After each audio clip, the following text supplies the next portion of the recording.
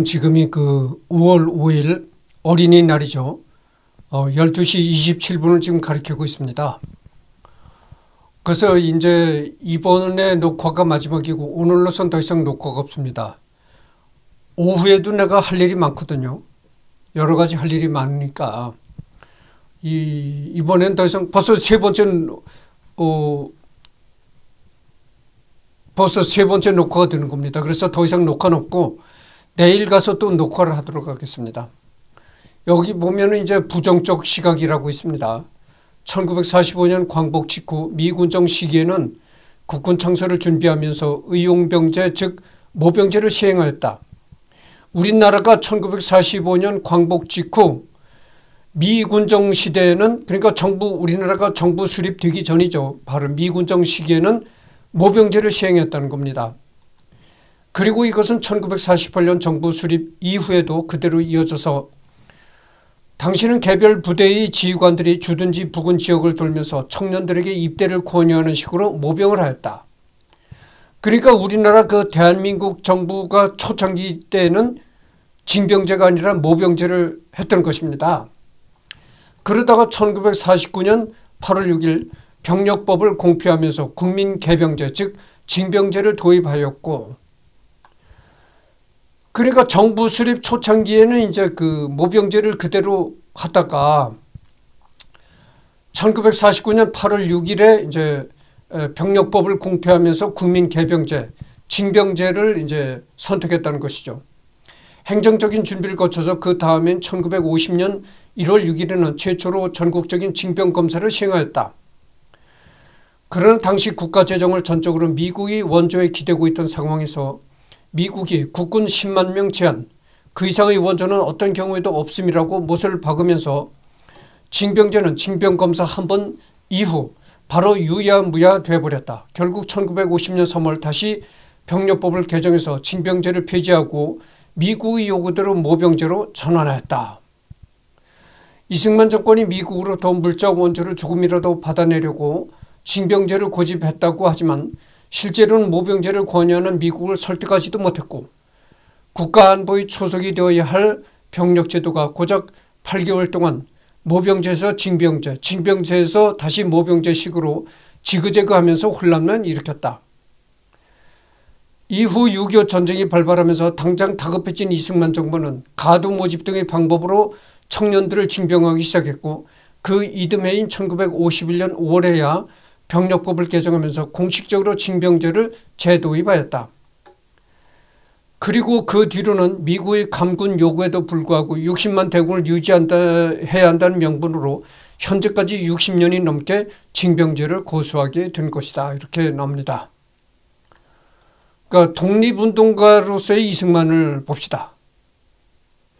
이승만은 국외에서 이름이 알려진 독립운동가 중 한 사람으로서 노선으로서는 외교 독립론을 견지했다. 이승만은 한국 독립에 영향을 주는 여론을 미국 내에서 만들었고 그가 미국 내에서 지지를 쌓아갈 때 태평양 전쟁이 시작되자 한국에 무지했던 미국 내에서 한국 독립에 대한 처리에 영향을 주는데 기여를 하였다. 애교 독립 노선이 사람들이 생각하는 것만큼 성과가 없는 것도 아니었다. 애교 독립 노선이 성과가 없었다고 주장한다면 같은 자체로 잣대로 따졌을 때 무장투쟁도 성과가 없었던 건 어차피 마찬가지다. 무장투쟁이 성공했다는 평가를 드리려면 무장투쟁으로 한국이 일제 결정적인 타격을 입히기라도 했어야 한다. 이승만이 다른 독립운동가들과 극심한 갈등을 일으켰다는 말도 궁색한 게 이 시기 서로 안 싸운 개인단체는 없다시피 했으며 오히려 무장투쟁 독립운동가들끼리 암살과 총질까지 해야 되는 판국이었다. 이승만이 이승만이 가는 곳마다 갈등을 뭐 일으켰다. 이런 얘기도 이것이 잘못된 얘기라는 겁니다. 그때 당시는 이승만뿐만이 아니고 다른 그 여타의 단체들도 여타의 독립운동 단체들도 이 독립운동 단체들끼리 서로 갈등을 일으키고 그러니까 요즘 요즘 그런 말이 유행하잖아요. 내부 총질한다 그런 얘기를 하잖아요.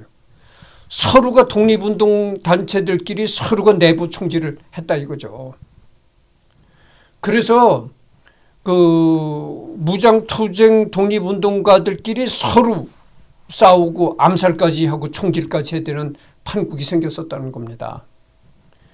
그래서 뭐 이승만이만 가지고 이승만이가 꼭 어디, 어디를 가든지 갈등과 반목을 일으켰다. 이렇게 보는 것도 어떻게 보면 이게 잘못된 얘기라는 겁니다. 이승만 외에도 이승만 외에도 이렇게 단체들끼리 독립운동하는 단체들끼리 싸움과 갈등이 심했었다는 겁니다. 음? 그리고 이승만이가 한 게 뭐 있느냐? 이승만이가 외교로서 독립을 해야 된다. 강대국을 등에 업고 외교로서 독립을 해야 된다는 이승만의 노선으로서 독립이 된게 아니지 않냐. 이렇게 말하는 사람들이 있는데 무장투쟁도 똑같다는 얘기죠. 무장투쟁으로 독립을 쟁취하겠다고 주장한 사람들도 우리가 우리가 일본한테 무장투쟁을 통해서 결정적인 그런 한 방을 넣은 게 없다 이거죠. 음. 결국은 뭐 미국이 미국과 일본의 전쟁이 벌어져서 우리나라가 독립된 것이지. 그렇잖아요. 애초에 광복은 일제 제국제 폐망과 더불어 외교론, 무장투쟁론, 실력 양성론 등 여러 독립운동 노선의 성과가 복합적으로 나타난 결과이다. 임시정부의 노선 역시 외교론의 무장투쟁 노선을 결합한 형태에 가깝다고 볼 수 있다. 1941년 일본 내막기라는 책을 저술해 일본에 대해 순수한 시각을 갖고 있었던 미국인들에게 일본 제국주의 위험성을 알렸다. 3.1운동이 벌어지자 이를 미국에서 대대적으로 선전한 것도 이승만이었다.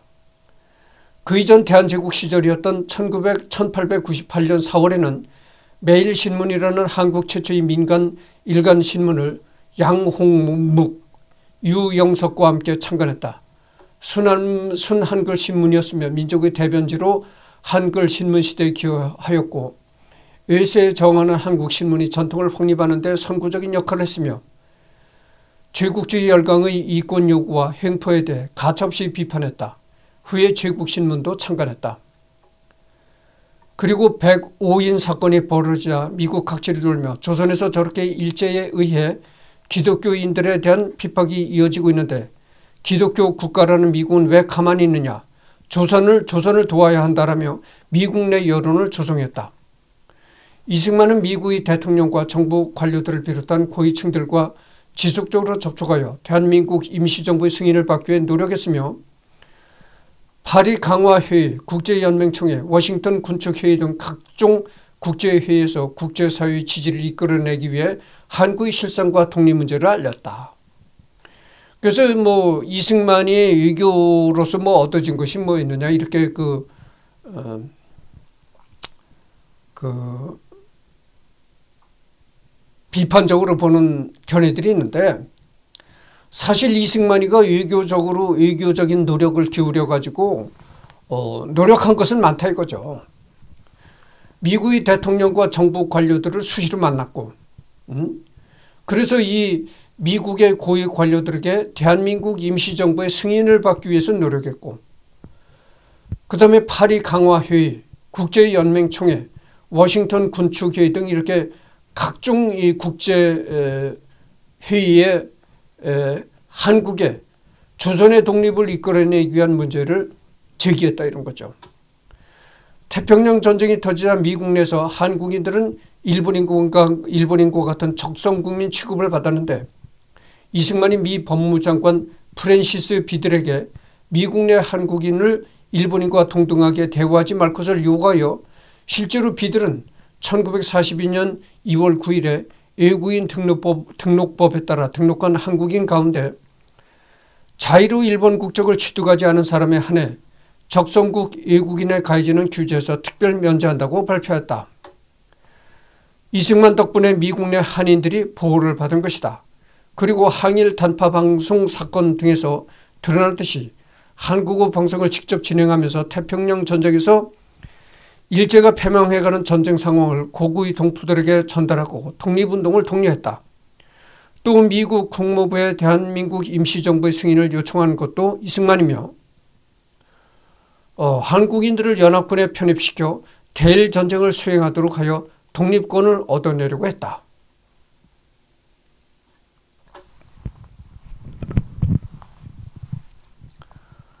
국제 정세를 이끌어가는 게 누굽니까? 미국이죠. 음. 그러니까 미국 정치인들에게 계속적으로 이렇게 그 건의를 내고 압력을 넣는 것이 정말 중요한 것이죠. 그래서 이승만은 이런 그 중요한 역할을 했던 것입니다. 지금 한국이 핵을 못 가지고 있는 게 누, 누구 때문입니까? 미국 때문이잖아요. 응? 그러니까 저 미국한테 계속 한국이 핵무장을 해야 된다는 그런 인식을 미국한테 심어주는 게 또 굉장히 중요하다고 봅니다. 그래서 뭐 몇 가지 좀 어, 좋은 얘기들이 들리는데 뭐냐면은 다음 그 대통령 선거에서 트럼프가 또 재등장할 그런 가능성이 많잖아요. 근데 트럼프가 대통령이 되면 한국한테 고액의 그 엄청난 액수의 방위비를 청구한다는 겁니다. 그와 반면에 또 한국의 핵무장을 어, 만약에 트럼프가 대통령이 되면 트럼프가 재등장을 하게 되면 한국의 핵무장을 허용할 수도 있다. 뭐 이런 얘기들이 나오고 있어요. 그래서 트럼프가 재등장해서 한국한테 고액의 방위비를 요구하면은 우리는 빚기를 우리가 고액의 방위비를 주는 대신 이 한국의 핵미, 핵무장을 용인해 달라는 한국의 핵무장과 고액의 방위비 협상을 이렇게 빚기를 선, 어, 선언하고 나서야 된다 이런 얘기죠. 우리 정부는 우리 대한민국 정부는 강하게 빚기를 요구해야 되는 겁니다. 대한민국이 핵무장해야 된다 이런 그 고액의 방위비를 너희들한테 줄 테니까 우리한테 핵무장을 눈 감아주는 핵무장을 용인해 달라 이런 빚기를 어, 요구하고 나와야 된다 이런 얘기죠.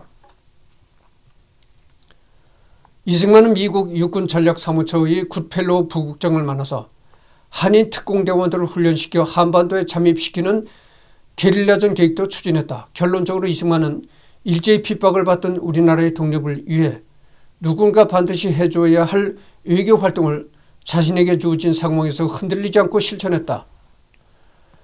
총칼을 드는 것 역시 독립운동이지만 교육이나 언론 등의 수단으로 혹은 외교적 방법으로 외국에서 일제히 침략을 알리고 주권 회복을 위해 일하는 것도 독립운동이다. 이승만은 두 번째와 세 번째 케이스로 기회주의적인 모습을 보였던 일부 인물들과는 달리 끝까지 변절하지 않고 독립운동을 수행했다. 괜히 김구와 함께 해방 직후 독립운동의 거두로 대표되는 것이 아니었다. 독립운동을 하다가 중간에서 변절을 해가지고 독립운동을 중단한 어, 운동가들이 많다는 거죠. 그러나 김구와 이승만 두 이 거물은 끝까지 변절하지 않고 끝까지 독립운동을 했다는 겁니다. 그래서 이 두 사람이 이제 거물이 된 어, 것이죠. 김구도 그렇지만 이승만이도 그 한평생 무국적자로 살았다는 거잖아요. 어? 미국에서 대학을 나와가지고 박사학위를 받고 그렇게 미국에서 생활하면서도 미국 국적을 취득하지 않은 겁니다.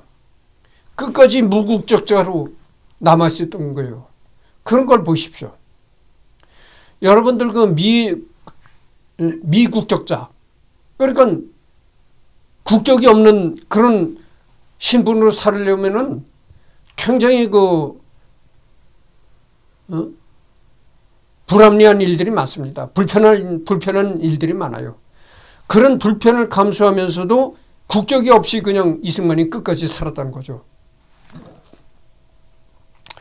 그렇게 미국에서 공부하고 오랫동안 미국에서 살면서도 미국 국적을 끝까지 취득하지 않았다. 국적이 없는 상태로 계속 버텼다 이런 얘기죠. 그걸 보십시오. 김구나 이승만이가 똑같이 독립운동의 거물인 것만은 확실합니다. 그러나 대한민국 대통령이 김구가 됐더라면 김구가 독립운동의 거물인 것만은 사실이지만 김구가 대통령이 됐으면 대한민국은 공산화가 됐습니다. 다른 독립운동가들과의 벌였던 갈등 이와 관련하여 특히 스티븐스 저격 사건이 자주 지적당하는데 당시 이승만이 이에 대한 통역을 거절했던 것은 미국의 여론이 매우 안 좋았고 외교 독립론자였던 그는 이 사건 자체를 부정적으로 봤기 때문이었다. 그 당시 약소국이며 어디에 있는 나라인지도 모를 대한제국이라는 나라 사람들이 미국 그것도 자기네 나라 외교관을 살해한 것이니 어떤 나라든 여론이 좋을 리가 없다. 이 스티븐스 저격 사건을 이승만이가 그 어, 통역을 거절한 건 뭐냐면은 이 스티븐스 저격 사건이 매우 미국에서 그 여론이 좋지 않게 형성되고 있었다 이런 얘기죠. 그렇게 미국에서 여론이 좋지 않게 형성되던 스티븐스 저격 사건을 자기가 나서서 통역을 한다? 이거는 그 미국 내에 안 좋은 여론에 기름을 붓는 꼴이 된다. 이래서 통역을 거부한 것이죠. 더군다나 이승만이는 외교적으로 그 어, 테러가 아닌 외교적으로 독립을 추구해야 된다는 그런 생각을 아주 끊임없이 실천하고 있었던 사람이라 이런 일을 할 수 없었던 겁니다. 근데 이, 이, 이 사건을 가지고 또 이승만이를 비판하는 사람들이 이 사건을 가지고 또 물건 들어지는 것이죠. 본래 현대 외교관은 군주 곧 국가의 주권의 대리자 개념으로 시작한 근대 외교관에 기반하고 있으며 이는 지금도 유효하, 유효하 다. 따라서 외교관을 살해하는 것은 해당 국가의 주권을 짓밟는 모욕 행위에 해당된다. 현대에 비해 외교관이 가지는 대중적 유신이 엄청났던 당시엔 더욱 그러하였고 당시 미국인들의 눈에 스티븐스 저격 사건이 어떻게 보였을지는 더 말할 필요조차 없을 것이다. 내가 하버드 대학에 재학하고 있을 때 일본이 한국을 말살하기 위해 한국 정부의 고문으로 앉혀놓은 스티븐스가 두 한국 사람에 의해 샌프란시스코에서 암살되었다. 그리고 안중근 열사가 이토 히로부미를 하일번에서 하얼빈에서 살해했다. 신문에는 한국 사람들은 잔인한 살인광들이며 무지몽매에서 그들의 가장 좋은 신우인 이토 히로부미와 스티븐스를 살해했다는 기사들이 가득 실리곤 했다.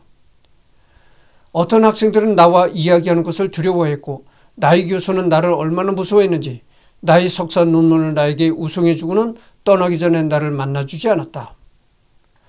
그 이승만이 쓴 1912년에 쓴 자서전에 이런 얘기가 나왔다는 겁니다. 위에 나온 이승만이 글을 보면 스티븐스와 이토 히로부미 암살 사건 때 당시 미국 내 여론과 분위기가 어떤 상황이었는지를 알 수 있다. 아무리 친일 미국인이라 하더라도 한 나라의 외교관을 죽이는 행동은 미국인들로 하여금 한국을 적대적으로 여기게끔 만들 뿐이었다. 이승만이 생각하기에 일본인들이 가장 두려워하는 것은 교육받은 근대화된 한국인들이 해외로 나오는 것이었다. 한국인들이 해외에 나가 활동하며 우리 한국인들은 일제히 탄압이 어울리지 않는 문명인이자 개화인이자 자유인들이다라는 인식을 서방 국가들에게 심어줘야 한국 독립의 당위성이 설득이 되고 미국의 심장부에서도 그런 인식이 통용되어야 그것이 곧 독립운동으로 가는 길이라고 판단했다. 그리고 위임 통치 청원 사건에 대해서도 신채호는 이완용은 있는 나라를 팔아먹었는데 이승만은 없는 나라마저도 팔아먹는구나 하고 개탄을 했다는 겁니다. 이 신채호라는 사람이 그렇게 이제 했다는 거죠.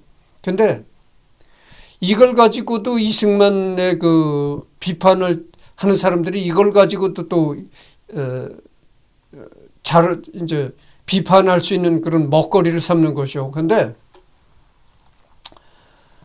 그 국제연맹의 위임 통치하는 그런 음, 거는 이승만이가 구상한 거지만 그 이승만이 외에도 안창원이 뭐 김규식 이런 여러 사람들도 이 이승만의 위임 통치 청원에 대한 그런 생각을 찬성했다는 겁니다.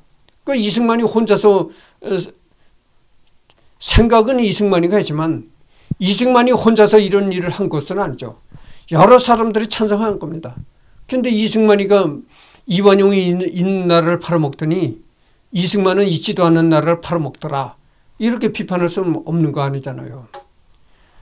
라고 비난했으나 이것도 비약이 대단히 심한 비난이며 이승만이 했던 청원인 내용은 한국이 완전한 독립을 보장한다는 조건 하에 일본의 통치로부터 한국을 해방시켜 국제연맹의 위임 통치 아래 두는 조치였지 나라를 판단하거나 타국의 식민지가 되는 게 아니었다. 게다가 이 건, 이, 이 건은 이승만뿐만 아니라 김규식이나 안창호 등 다른 독립운동가들도 유사하게 가지고 있던 구상이었다. 현대의 사람들 중에서도 이런 신체의 시각을 일방적으로 추종하는 경우가 있는데 신체의 저런 주장은 그가 국제 정세와 국제법에 대해 제대로 아는 게 없었기 때문이다. 그렇죠? 음. 지금도 이 문제를 가지고 물고 늘어지는 사람이 있다는 겁니다. 이런 얘기를 가지고 어? 이완용은 있는 나라를 팔아먹었는데 이승만이는 있지도 않는 나라를 팔아먹더라. 이걸 가지고 지금도 물고 늘어지면서 이승만이를 비판하는 사람들이 있는데 봐요. 안창호 등 다른 운동가들도 유사하게 가지고 있던 구상이었다. 예. 현대의 사람들 중에서도 이런 신체의 시각을 일방적으로 추정하는 경우가 있는데 신체의 저런 주장은 그가 국제정세와 국제법에 대해 제대로 아는 게 없었기 때문이다. 그리고 마치 이승만을 제외한 나머지 독립운동가들은 똘똘 뭉쳐 있었는데 이승만이 분탕을 쳐서 이승만 대 나머지의 갈등이었던 것처럼 사람들이 착각하곤 하지만 실제로는 이승만과 상관없이 당시 임시정부를 비롯한 독립운동가들은 항상 분열되어 있었고 온갖 파벌로 나뉘어져 싸우고 있었다. 당장 박용만이 누구에게 암살당했는지 생각해보라. 심지어 한기수는 독립운동을 한다는 사람이 미국이 대한민국 임시정부를 승인하지 않도록 공작을 벌였으며 김원봉도 임시정부 해체운동을 벌인 바가 있다.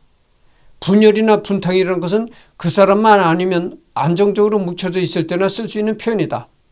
모두가 사분 오열인 상황에서 특정인만 분열자로 프레이밍하는 것은 비합리적이다. 이 나무 위키가 참 제대로 된 이 정보를 제공하고 있는 것입니다. 그래서 이 내가 나무 위키를 reading하는 게 그 나무 위키를 reading해 보면은 나무 위키야말로 상당히 그 어느 쪽 입장에도 치우치지 않는 아주 공평한 그런 자료들을 제공하고 있어요. 공평한 얘기를 하고 있다 이런 얘기죠. 이승만이 어디를 가나 갈등과 파벌을 일으켰다. 그래서 이승만은 갈등을 일으키는 화신이었다. 뭐 이렇게 이승만을 비판하잖아요. 그러나 그렇지 않다는 겁니다. 이승만 외에도 어? 이승만이가 관여하진 관여하지 않은 여러 그 독립운동 단체들도 그렇게 파벌과 반목이 심했다는 거예요. 여기서 한길수라는 사람은 그 독립운동한다는 사람인데 어? 한길수라는 사람은 독립운동한다는 사람이 미국에 대해서 미국은 임시정부를 승인하지 말라 이렇게까지 얘기를 했고 김원봉이 예? 김원, 김원봉이는 임시정부를 해체해라 이런 주장까지 했었다는 겁니다. 여러분 그 문재인 정부 시절에 김원봉이를 뭐 어? 대한민국 건국 훈장을 뭐 준해 만에 해가지고 또 이렇게 얘기가 많아졌던 사람이잖아요. 이게 참 문재인 대통령도 공부를 공부를 이런 공부를 전 문재인 대통령도 많이 하고서 김원봉에 대해서 어, 건국 훈장을 준다 어쩐다 이렇게 여론을 어, 만들었으면 좋겠다 이런 생각을 합니다. 그러니까 문재인 대통령도 이런 역사 문제에 대해서 공부를 많이 안 하고 이런 얘기를 했으리라고 생각합니다. 김원봉, 김원봉이라는 인물이 뭘 했습니까? 여기 나오잖아요. 임시정부를 해체한다는 임시정부 해체 운동을 벌인 장본인이 김원봉이라는 겁니다. 음? 그리고 북에 가서 어, 김일성 밑에서 어, 어떤 뭐 정, 김일성 그 북조선 인민위원회 아, 북조선 그 정권에 북조선 정권에서 뭐 장관 어느 장관인지 했던 사람이 또 김원봉이잖아요. 그런데 그런 사람을 건국 훈장을 준다? 이건 말도 안 되는 소리입니다. 문재인 대통령이 바로 그 임시정부를 중요시했던 대통령이 문재인 정부, 문재인 대통령이었잖아요. 그렇게 문재인 대통령이 임시정부를 중요시 여겼던 대통령이 임시정부를 해체해야 한다는 주자 운동을 했던 김원봉이를 건국 훈장을 준다. 이것은 말이 안 되는 앞뒤가 안 맞는 얘기였죠.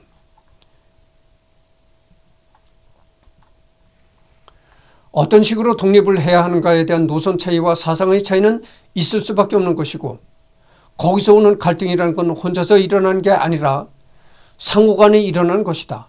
서로 다른 노선과 사상에서 오는 갈등이 이승만에 대한 비판거리가 된다면 반대로 이승만과 갈등을 빚은 상대 독립운동가도 갈등을 빚은 것에 대해서 똑같은 비판을 받아야 할 것이다. 이승만이 누군가와 패권 싸움을 한데 조직력을 낭비했다고 비판한다면 같은 논리로 그 상대에 대해서도 이승만과 패권 싸움을 하느라 조직력을 낭비했다고 비판할 수 있다. 상호 간의 갈등을 빚었는데 그게 마치 이승만이 잘못이라는 일방적 비판은 이승만은 악이고 상대는 선이라는 정답을 정해놓고 얘기하는 이중작대에 불과하다. 게다가 앞서 얘기했듯이 이승만이 아니어도 원래 분열과 파벌 싸움이 일상이었으며 독립운동가들의 노선 갈등과 파벌 싸움은 한국뿐만 아니라 식민 지배를 당한 다른 국가에서도 흔히 볼 수 있던 얘기다. 그러면 독립운동가 독립운동 단체들이 심한 분열과 파벌 싸움을 했다. 그게 이승만이 꼭 이승만이 때문이었다. 이렇게 얘기한다는 거는 이승만은 꼭 악이요. 어? 다른 상대자는 선이다. 이거는 잘못된 얘기라는 거죠. 어떻게 이승만 하나, 이승만 한 사람한테 그렇게 악, 악의 프레임만 씌울 수가 있느냐. 음? 그렇잖아요. 이승만이하고 무슨 억하 심정이 있습니까? 이승만이하고 뭐 조상의 무슨 원수라도 진, 원수라도 뭐 있습니까? 그렇게, 그래서는 안 된다는 얘기죠. 독립운동 단체들 자체가, 음? 이렇게 파벌과 분열이 심했다는 얘기예요. 파벌과 분열 내부 총질이 심했다 이런 얘기요. 이승만이가 거기에 개입했던 개입 안 했던 간에 그런 걸 가지고 원래 이승만이가 뭐 어? 관여를 했던 관여를 안 한 곳에서도 그렇게 어? 파벌과 내부 총질이 많았는데 그걸 어떻게 꼭 이승만이는 가는 곳마다 내부 총질을 일으켰다. 이승만은 악이요. 다른 독립운동가들은 선이다. 어? 이승만은 악의 축이다. 이렇게 본다는 건 있을 수가 없다는 얘기죠. 그러니까 똑같이 이제 똑같은 방식으로 이승만은 악의 축이요. 김구는 선의 축이다. 이승만은 악이요. 김구는 선이다. 그래서 이승만은 대통령이 돼서는 안 될 사람이었고 김구가 대통령이 되었으면 내가 여러 번 얘기를 했잖아요. 김구는 대통령이 됐으면은 공산화가 됐다니까. 넘어가도록 합시다. 신초는 분명히 위임 통치안이 정한경에 의해 초안이 작성되고 대한인 국민회의 중앙총회장 안창호의 정식 결의를 얻었으며 이승만뿐 아니라 김주식도 같은 문서를 각국에 발송되었다는 것을 모를 리가 없었다. 즉 그는 거짓 모함을 한 것이나 아니면 잘 모르면서 저런 발언을 한 셈이다. 그러나 현순의 자서전인 현순 자사를 보면 대강 왜 신채호가 저런 발언을 했는지 알 수 있는데 임시정부에서 자신이 조소와 꼬리로 놀림을 받은 것에 대한 악감정이 남아있던 걸로 보인다. 이 이승만의 위임 통치안이라는 것은 이 이승만의 비서 정한경이가 초안을 작성한 것이고 이 이승만이 생각에 안창호도 찬성했고 김규식이도 찬성했다는 겁니다. 그래서 모든 독립운동가들이 이렇게 그 위임 통치안을 이 찬성을 하고 그랬는데 그거를 뭐 응? 이, 이, 그런 걸 가지고 이승만이 한 사람을 어, 나쁘다 뭐 나라 있지도 않는 나라를 팔아먹느냐 이렇게 비판할 수는 없다 이거죠. 그러면 왜 이 신채호라는 사람이 그렇게 이승만이는 있지도 않는 나라를 팔아먹었다 이렇게 비판했냐면은 임시정부에서 자신이 이 신채호가 임시정부에서 어, 조소와 어, 조롱거리로 놀림받은 것에 대한 악감정이 남아있던 것으로 보인다 이런 얘기죠. 이 나무 위키가 참 정확한 이 내용을 아, 아까도 얘기를 했지만 나무 위키가 참 이승만이는 악의 축이요. 김구는 선의 축이다. 뭐 이런 식으로 얘기를 하는 것이 아니라 정말 이, 저, 제대로 어, 올바른 얘기를 나무 위키가 하는 겁니다. 정말 비판해야 될 것은 비판하고, 어, 그것은 아니다.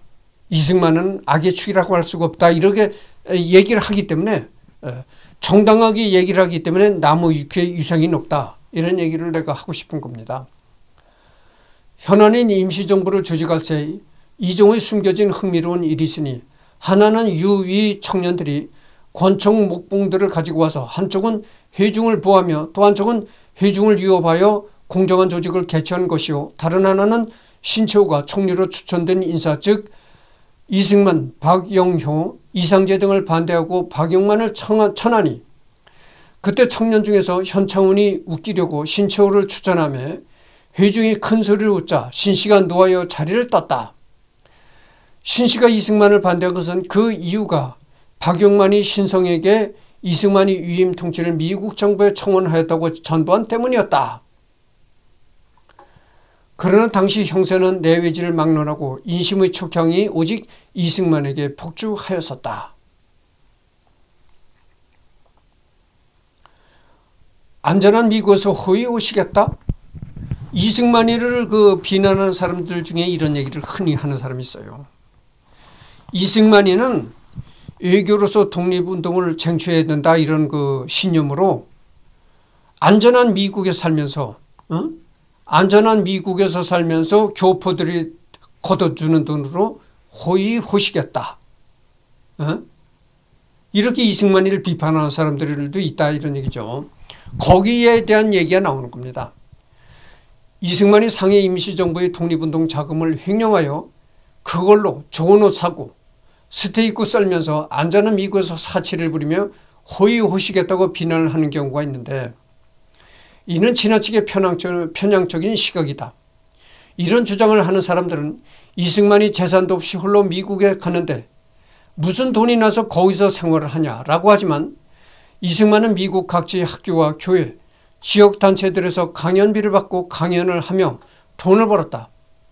그리고 현재 교민들로 이루어진 후원회와 개별적으로 이승만을 도와주는 미국인 후원자들도 있어서 이들이 이승만의 활동비를 지원해 주기도 했다.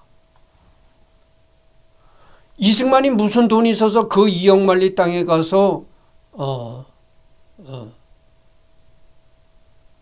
그렇게 미국에 가서 생활하며 공부를 하고 그랬냐. 첫째는 이승만이가 기독교인이고 그래서 기독교인들로부터 재력 기독교 재력가들로부터 스폰을 받았고 그리고 이제 교포들한테도 이제 도, 교포들한테 돌아다니면서 도 어, 강연에서 강연비도 받고 이렇게 해서 이제 생활했던 거죠. 그러면 그렇게 생활을 했다 뿐이지 이 생활만 했다 뿐이지 호의호식할 정도로 넉넉한 그런 여건 아니었다 이런 얘기죠. 그리고 안전한 미국에서 활동했다면 공격하는 것은 공격을 위한 공격이라고밖에 할 수가 없다. 독립운동의 목적은 조국의 독립이지 누가 더 열악한 곳에서 활동했나를 겨루는 게 아니다. 그렇잖아요. 야, 이 나무 위키가 참 이게 참 나무 위키가 정말 권위 권위가 있는 백과나 사전입니다. 그렇잖아요. 독립운동의 목적은 조국의 독립이지. 예. 조선이 동, 조선의 독립이 예, 목적인 것이지. 누가 더 고생을 하냐, 호의호식을 하냐, 이게 목적이 아니다. 그 말입니다. 당시 전 세계 최고 강대국이자 동아시아에서 가장 강력한 영향력을 행사할 수 있는 나라가 미국이었다. 지금도 그렇죠. 지금도 미국이 가장 영향력을 행사하잖아요. 동북아에 가장 큰 영향력을 끼칠 수 있는 나라에서 독립운동을 하는 것은 너무나 당연한 일이다. 어? 가장 이 세계에서 영향을 끼칠 수 있는 나라가 미국이잖아요. 그런 이, 이 세계에서 가장 영향력을 끼칠 수 있는 나라에서 독립운동하는 것은 너무나 당연한 거 아닙니까? 이런 얘기를 지금 하고 있는 거예요. 우리가 핵을 가져야 된다. 우리가 핵무장을 해야 된다, 핵무장을 해야 된다 하면서도 핵무장을 못하는 이유가 뭡니까? 미국이 반대를 하기 때문에 핵무장을 못하는 겁니다. 그래서 이 대한민국이 핵무장을 해야 된다 이런 그 그거를 미국과 계속 이제 미국의 여론을 환기시켜야 된다 이런 얘기도 하고 있는데 하여튼 뭐 아끼도 얘기했지만 트럼프가 재등장하게 되면 트럼프의 이, 이 보좌하고 보좌 역할하는 사람들이 그래요. 트럼프가 재등장하면은 한국의 엄청난 방위비도 요구함과 동시에 한국의 핵무장을 용인해야 된다 뭐 이런 이야기도 나오거든요. 그래서 트럼프가 재등장하게 되면은 이 반드시 한국의 독자적인 핵무장을 가지고 이제 단판을 지어야 된다 이런 내가 하고 싶은 겁니다. 지금 한국의 핵무장을 못한 게 뭡니까? 이 세계적으로 강력한 영향력을 행사하는 미국이 철저히 반대를 하기 때문에 못한 거잖아요. 그러니까 세계에서 가장 영향력을 행사할 수 하는 미국에다가 미국에서 독립운동하는 건 너무나 당연하죠. 그리고 저런 공격을 하는 세력들은 똑같이 미국, 미국에서 활동한 박영만이나 유일한 또는 프랑스에서 활동한 서영해 등에 대해서는 같은 공격을 하지 않는다는 점도 재미있는 부분이다. 심지어 의열단은 중국 내에서도 잘 노는 생활로 유명했다. 이렇듯 중국에 있는 독립운동가들은 그러니까 내가 언젠가 얘기했지만 우리나라에는 사촌이 땅을 사면 배가 아프다. 뭐 이런 속담이 있잖아요. 우리나라 그 사람들의 이 조선놈이라고 하잖아요. 이, 이 자해를 하는 얘기가 되겠지만 스스로 자해를 하는 얘기가 되지만 나도 조선놈이지만 조선놈은 뭐 어? 3일이 멀다하게 패된다. 뭐 이런 그 아주 좋지 않은 얘기도 있습니다. 그게 뭐냐면은 사촌이 땅을 사면 배가 아프다. 이 조선 사람은 그렇게 이 시기와 질투가 많은 민족이라는 겁니다. 그래서 이승만은 모든 것의 악의 축이다. 어. 모든 것에 잘못된 것은 이승만의 근원이다. 어. 이승만은 악의 근원이다. 이렇게 이승만한테만 그렇게 비판의 프레임을 자꾸 씌우는 것은 이 그 심리 심리 그 근 그 이승만을 어, 정당하게 비판할 것은 비판해야 되겠지만 비판해 비판하지도 않아야 될 걸 비판하는 그 심리 이 밑바닥에는 이런 심리가 시, 시기와 질투 심리가 내재되어 있는 겁니다. 그래서 이 출세를 한 자에 대한 시기와 질투가 반드시 있습니다. 응? 출세를 한 자에 대한 시기와 질투. 그것이 내재되어 있는 겁니다. 우리 그 어, 조선 그 조선 민족의 그 심리의 밑바탕에 깔려 있는 거예요. 그러니까 출세한 사람에 대한 시기와 질투심에서 모든 악의 근원은 이승만이다. 이렇게 이제 예, 하고 나온다고 볼 수도 있는 겁니다. 이승만의 조직은 안창호의 국민회를 테러하여 자금을 탈취했다는 주장도 있는데 이것도 여러 왜곡이 섞였다. 일단 샌프란시스코에 있던 안창호의 국민회가 아니라 하와이에 있던 하와이 국민회였으며 테러를 하여 자금을 탈취한 게 아니라 하와이 국민회가 회관 건축비를 유용했기 때문에 이승만이 이것을 문제 삼아 하와이 국민회 김종학 회장을 파면시켰던 것이다. 이승만이가 뭐 어? 하와이의 국민의 김종학 회장을 뭐 해가지고 거꾸로 들어가지고 그 어? 국민의 자금을 탈취했다 뭐 이런 이 또 비난의 소리가 나오는데 음? 국민회가 하와이 국민회가 회관을 지을 건축비를 예, 횡령했다는 거예요. 유용했다는 겁니다. 그래가 그 횡령한 걸 문제 삼는 거 당연한 거 아니겠어요. 예. 그걸 당연한 겁니다. 그걸 당연한 일을 이승만이가 제기했다는 거죠. 그래서 이 김종학 회장이 국민의 김종학 회장이 이 파면되는 결정적인 원인이 되었다 그런 얘기입니다. 근데 뭐 어, 당연히 제기할 걸 제기했는데 근데 뭐 이승만이를 비판할 비판할 수는 없는 거잖아요. 음. 그래서 이 모든 것은 비난의 화살을 이승만에다 퍼붓는 거 그런 건 좋지 않고 지향해야 될 자세다 이런 얘기입니다. 지금 그 오늘 그 녹화한 지가 40분을 경과했습니다. 그래서 오늘은 세 번째 오늘 세 번째 녹화를 했는데요. 다음에는 이제 대한민국 임시정부 승인 노력 요 부분을서부터 이제 하도록 하겠습니다. 그래서 오늘은 또 녹화가 없고 내일 가서 녹화들을 하도록